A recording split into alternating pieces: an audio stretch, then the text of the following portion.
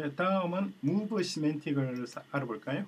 무브 시멘틱에서 예제가 하나, 둘, 셋, 네 개가 있습니다. 각각의 예제들 마찬가지 코드를 완성해 보시기 바랍니다.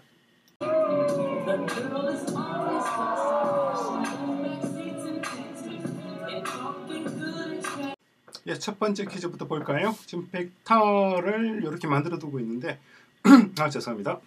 101이 벡터 1이 지금 현재 에러가 뜨고 있어요. 푸시 AT AS를 넣습니다. 요것을 고치는 방법은 굉장히 단순하죠.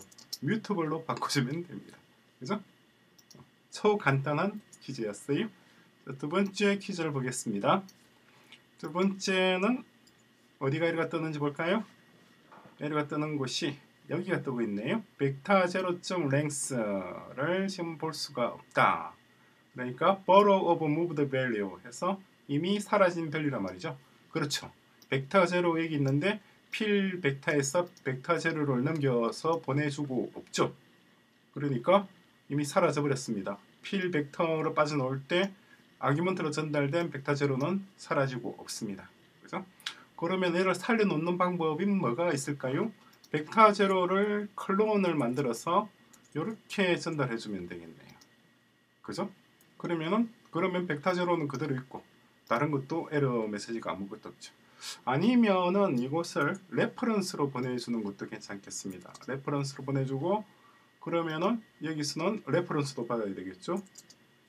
reference로 받아서 이 reference로 받은 이 벡터를 여기서 클론을 만들어줘도 되겠네요. 클론해서 만들어서 만들어진 것을 벡터에 담고 이 벡터를 리턴하면 이것도 괜찮죠. 어떤 방식이든 가능하겠습니다. 자 그리고 또 다시 다른 예제도 밑에 볼까요? 얘는 어디가 에러가 뜨나요? 어, 여기서 에러가 뜨고 있네요.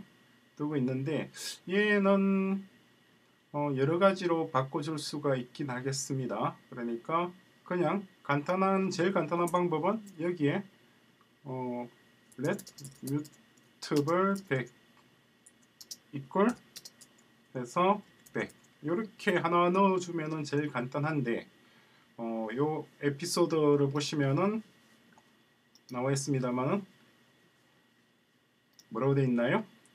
Make me compile without adding new lines. 새로운 라인을 추가하지 말고 만들어 보 컴파일 하, 컴파일 될 수 있도록 하라는 거잖아요. Just changing existing line.